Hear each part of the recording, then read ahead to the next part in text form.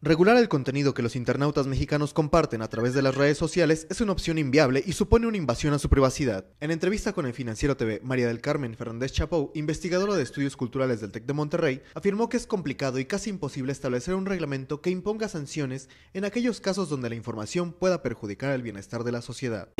En el sentido o en la medida de que afecta a otros, de que ya eh, está en juego un interés público en la información que se transmite, pues en esa medida se, se requiere pues pensar cuáles son las consecuencias negativas que podría tener un mal uso de la información. En ese sentido, la catedrática del TEC consideró que es la autorregulación lo que ha funcionado hasta ahora al educar, concientizar y advertir a los usuarios sobre los términos de privacidad de las redes sociales. En casos más graves, en donde sí eh, hay una afectación a terceros o a más de un tercero eh, por el mal uso de una, de una red,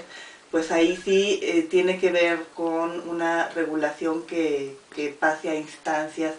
eh, correspondientes, ¿no? gubernamentales, al referirse al caso de dos jóvenes que fueron detenidos en Veracruz tras informar en Twitter sobre un supuesto ataque armado, Fernández Chapo pidió distinguir entre el uso privado y el social que se da a este tipo de redes. Consideró absurdo querer regular el contenido de los mensajes, ya que se atenta contra la privacidad de las personas. Expuso que entonces se tendría que revisar otras formas de comunicación como el teléfono y estar al pendiente de las conversaciones para saber si lo dicho podría tener efectos colaterales. Medio no es el problema.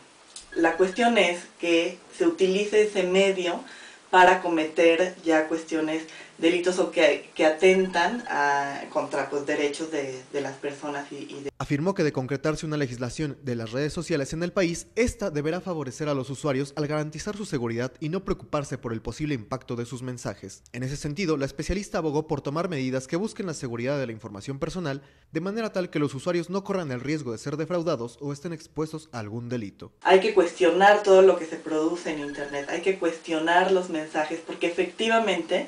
pueden ser rumores